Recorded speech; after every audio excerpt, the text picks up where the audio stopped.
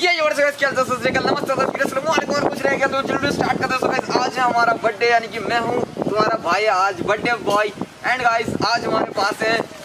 ये पूरा packet and इसके अंदर है इस पाँच रुपए वाले बिस्कुट के पैकेट तो इसका क्या करने वाले हैं आप देख लेना मिलते हैं सीधा वीडियो के एंड में चलो guys let's go let's go let's go चलो